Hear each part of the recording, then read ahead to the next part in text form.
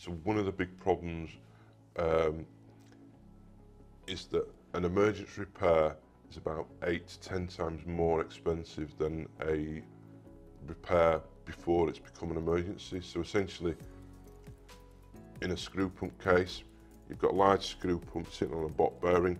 When the bottom bearing caves in, the entire structure rotates and rips out the housing. So it's going to be then lifted by a crane. But if you can do that beforehand, you're protecting the housing, you're protecting the screw pump, so essentially you're reducing your cost by an awful lot. And also the fact is that mitigation can become a big problem as well.